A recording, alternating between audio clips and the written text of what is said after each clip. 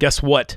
The Minimalists are going on tour with a live version of the Minimalists podcast, and I want to invite you to join us for a night of less. Find your nearest city at theminimalists.com/tour. We'll see you there. Are our desires tied to our fears and vice versa? Hmm. Yeah, I mean, let's talk about fear here because it does seem to me to to a great extent maybe our fears often fuel our desires. Or it could also stunt them too, right? Like my fear uh, of going snowboarding. uh-huh. I could have absolutely allowed that to just stunt my my love for snowboarding. but I'm the type of but I'm the type of person though where it does fuel me though in the sense that I'm fearful of something and I'm like, "Oh, I got to go out and face that head on."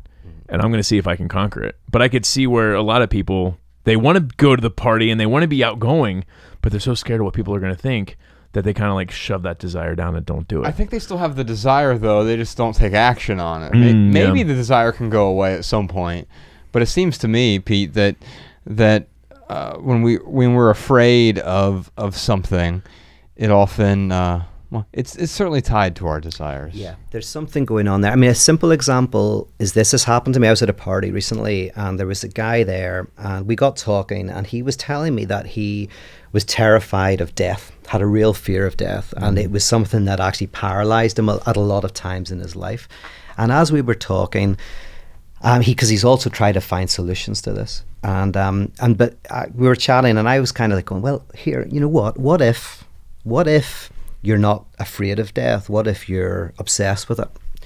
And and actually, it's you're what what you're f- afraid of is your desire. Just like if you look over a mm. cliff and you feel like you want to jump, you know you feel like that because there's so, you, you fear jumping because there's something in you that wants to jump. So i live on the 31st floor of an apartment and i have this window that opens up and it has a, a plastic kind of barrier so you can't fall out but you can't see it. It's clear plastic.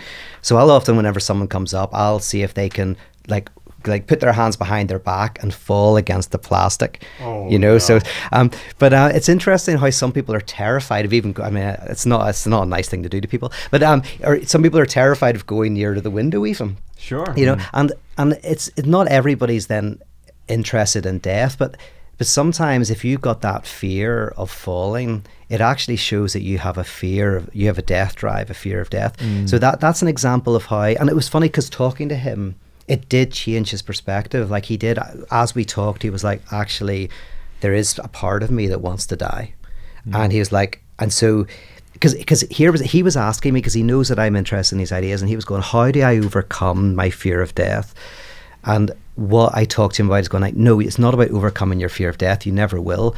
What you have to do is look at your desire to die." And as you make peace with that desire and as you work it through, the fear of death will disappear. You're trying to get rid of the fear of death. Work work through your desire, and as you work through your desire, the fear will dissipate.